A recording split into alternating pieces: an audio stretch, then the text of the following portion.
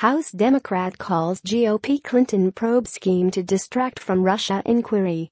Washington, Reuters, the top Democrat on a House of Representatives committee accused its Republican leaders of launching a spurious investigation of Hillary Clinton to divert attention from inquiries on alleged links between Donald Trump's presidential campaign and Russia. Representative Elijah Cummings, the senior Democrat on the House Oversight and Government Reform Committee, on Tuesday wrote to the panel's chairman, Trey Gowdy, complaining that Republicans had rushed to launch an investigation of a purported scandal involving Clinton and Robert Mueller, the special counsel who is investigating allegations about Trump campaign contacts with Russia.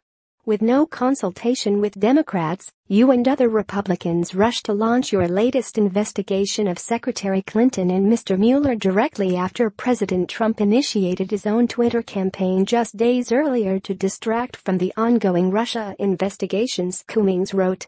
This investigation is not, nor will it ever be about one individual, Gowdy said in response to a query.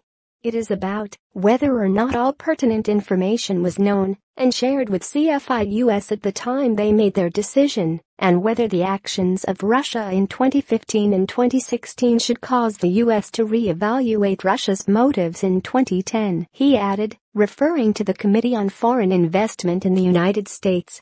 Cummings said Ron DeSantis, the Republican who chairs the Oversight Committee's National Security Subcommittee, claimed he interviewed a confidential informant who had helped the FBI uncover a scheme to bribe then-Secretary of State Clinton to get the Interagency Committee to approve the sale of a Canadian uranium company to Russia. However, Clinton did not represent the State Department on the Foreign Investment Committee, which approved the sale. Moreover, the major donor to her husband's Clinton Foundation had sold his stake in Uranium One more than a year before Clinton became Secretary of State and three years before Russia's Rosatom bought the Canadian firm.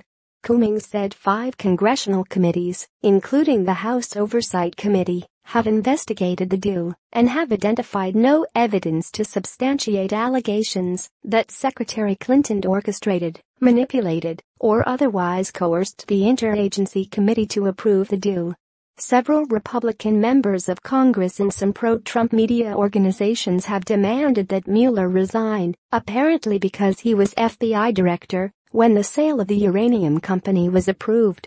Reporting by Mark Hosenball, editing by John Walcott and Dan Grebler.